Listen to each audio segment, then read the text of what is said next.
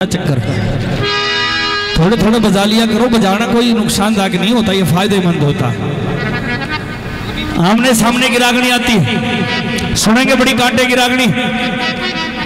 किस तरह से जब आरते के थाल में ठोकर मार दी शब सिंह ने तो पूछ लिया सौमती ने कि मैंने कौन सा गुनाह किया जो तुमने मेरे आरते के थाल में ठोकर मार दी? मेहरबानो एक एक बात खोल के रख दी दोनों के हमारे सामने के सवाल जवाब। श्रीमती निशा भाटी जी मेरे साथ, ठीक है, ताऊ जी? आइए, मैडम।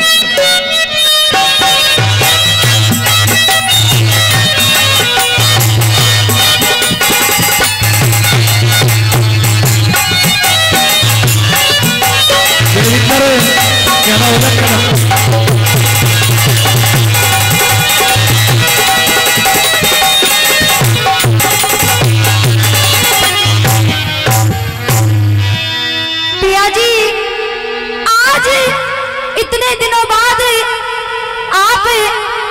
महल में वापस आए हो।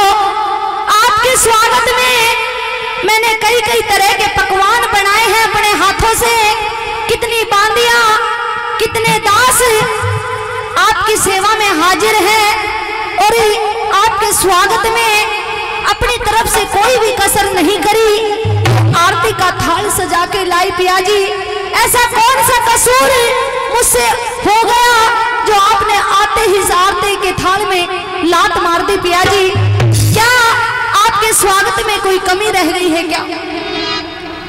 तुझे वास्तव में नहीं पता मैंने आरते के थाल में क्यों ठोकर मारी। मुझे नहीं पता पिया जी तू नहीं जानती कि तूने क्या किया है? पिया जी मैंने ऐसा कुछ भी नहीं किया है कि जो मुझे जानने की ज़रूरत पड़े। मेरे हाथों की हथकड़ी नहीं देखती। इन पावों में बेड़ी नहीं देखती ये सिपाही नहीं देखती जो एक सिपे सलार को पकड़कर एक मुस्लिम की तरह तेरे सामने लाए हैं। पिया जी आप सबसे पहले महल में अंदर चलो। ये बातें सबके सामने करने की नहीं है। अंदर चले। जैसे शेर खान अंदर गया था ताऊ जी ऐसे महल में अंदर चलो।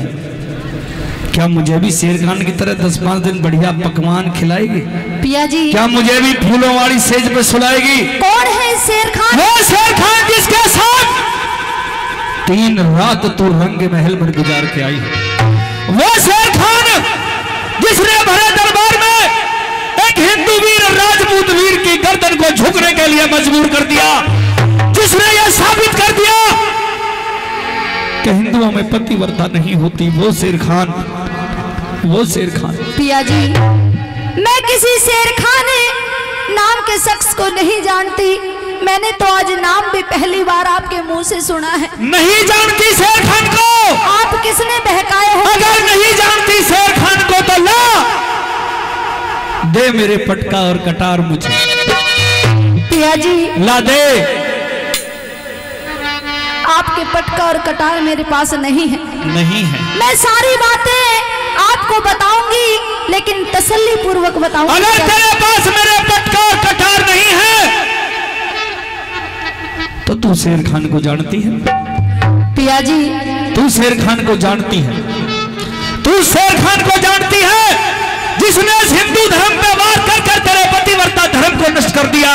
मैं तू शेर खान को जानती है? नहीं जानती पिया जी आप कहना क्या चाहते हो? साफ़ साफ़ मुझे बताओ पिया जी मैं ये कहना चाहता हूँ कि एक पठान ने इस राजपूत छत्र वीर की नाड़ को उस दरबार में नीचा कर दिया।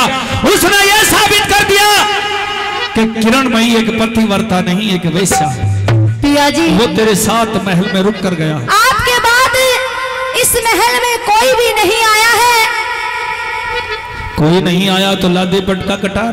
पिया जी पटका कटार का भी राज मैं आपको बताऊँगी। बता दे सभी के सामने बैठा दे सुनने को बैठे सारे। आपकी बुआ अच्छा। और आपके निशानी के तौर पे वो पटका और कटार वो लेके गई है मुझसे। अच्छा मेरी बुआ आई थी। हाँ। सच देख ले कभी भूप आया हो पगड़ी वाला देखवा नहीं पिया जी आपकी बुआ ही आई थी। शादी को हमारी दो साल हो गए। क्या आज से पहले इस महल में कोई बुआ या कोई फूफी चाची ताई आई है तुझसे मिलने? पिया जी वो कह रही थी कि तुम्हारे शादी के वक्त मैं नहीं आ पाई, इसलिए आज आई हूँ। अगर मैं उन्हें महल में नहीं आने देती, उनका निरादर करती तो आप मुझसे क्या कहते गौर करना। मैंने मान लिया कि मेरी बुआ को तूने पटका और कटार दे दिए। लेकिन क्या बाई जांग का तिल भी बुआ ने देखा था? हाँ पिया जी। अच्छा। वो दिल भी बुआ ने ही देखा था। एक बुआ एक औरत तेरे रंगे महल तक पहुँच गई। पिया जी बुआ थी।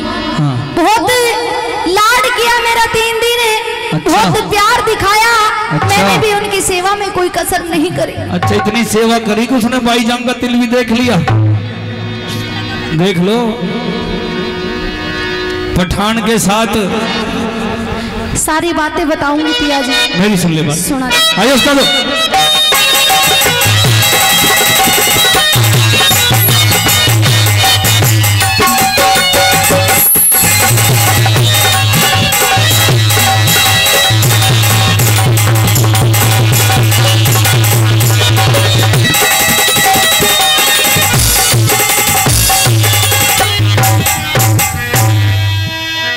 थाड़े क्यों बगाया?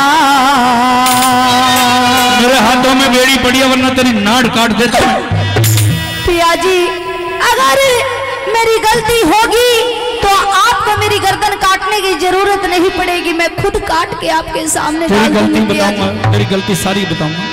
और थाड़े क्यों बगाया?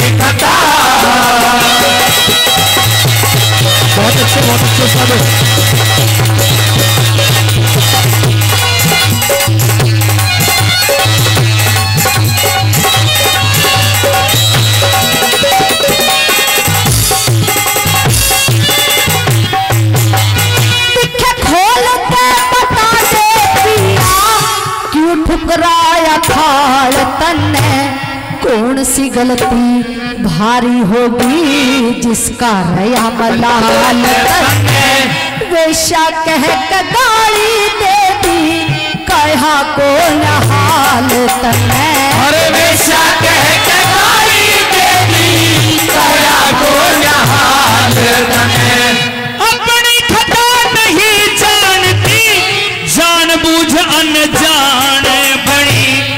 रजपूता की रजपूता की इज़्ज़त की, तू किरण मई खुद डाने बड़ी बड़ा भूल में चाप सिंह तेरी, आज साची जान बड़ी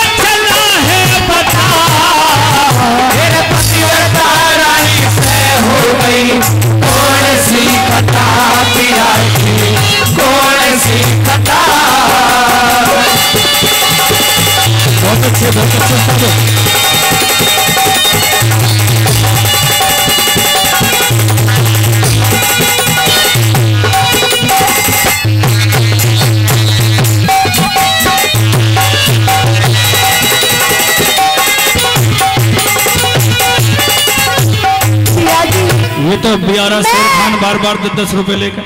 एक छतरानी हो और एक छत्राणी होने के साथ साथ मैं एक पतिव्रता नारी हूँ और मेरा ये कर्तव्य बनता है कि अपने पति के रिश्तेदारों की कदर करूँ। अगर वो महल में आए तो उनके लिए अपनी पल के बिछा दूँ पिया जी मैं सच कह रही हूँ मुझ पे विश्वास करो। पलके तो बुआ के अलावा इस महल में कोई भी नहीं आया पिया जी कोई भी नहीं आया। पल के तो खूब बिछा मैंने मना नहीं करी। लेकिन ये नहीं कहा तुम खुद बिछ जाइए वहाँ जाकर। मैंने ये नहीं कहा कि इस राजपूत की इज़्ज़त को तो यूँ नीलाम कर दे।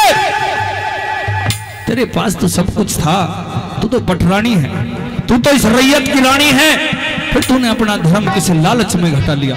पिया जी इस सोमती को ना तो कोई लालच था और ना है और ना कभी रहेगा। अच्छा। आप मेरी बात का विश्वास करो और आप मेरे पति हो इसलिए मैं आपकी ये बेफिजूल की बातें सुन रही हूँ।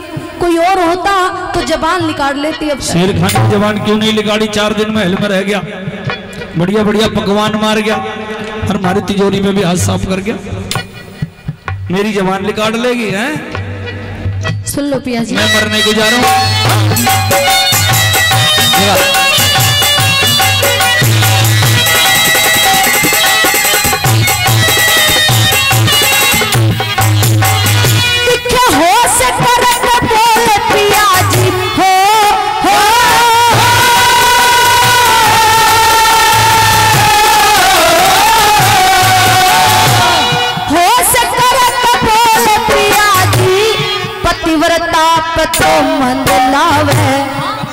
पतिव्रता इस छतरानी पे गंदे झूठे ऐब लगावे शकल तक भी देखी को ना कौन सिर खाना बतावे सकल तक भी देखी कोना कौन से खाना बाबा जो कह रहा डंडा लेके इसे सूट दे पहले बाद में बताइए इसे। इसने क्या करा है? यूँ कह रही है सकल तक भी देखी कोना कौन शेर का नाम बताओ? पिया जी बाबा की चाय की दुकान हमारे घर के सामने बाबा ने देखा शेर खान आता डंडे मारने की तो बहुत दूर बात है। मैं तो अपनी गर्दन काट के आपके सामने डाल सकती हूँ अगर मेरी खता है तो। आदरणीय विशंबर दयाल जी रायपुर चौन की तरफ़ से पचास रुपए से रागनी पर आए मैं आपको। तहे दिल से धन्यवाद करता हूँ ऐसी रागनी पर पचास रुपए दी। क्या कह रही थी सकल तक भी ना देखी? नहीं देखी पिया जी अच्छा।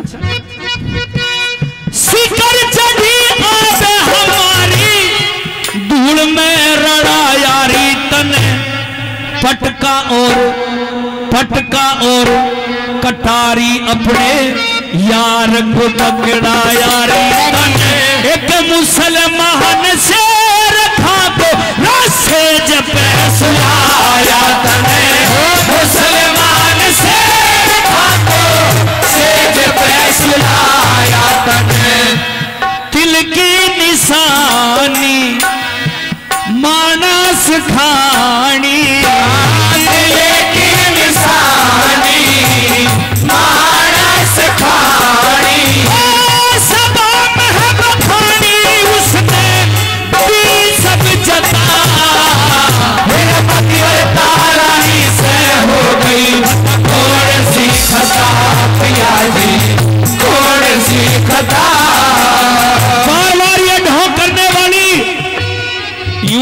यूँ है कि मैं शेर खान को नहीं जानती। नहीं जानती पिया जी। आज रो के और दिखा रही है। ये परमाणु बम से भी बुरा हथियार है औरतों का? मैं बाबा गलत कह रहा हूँ इनके दो आँसू टपके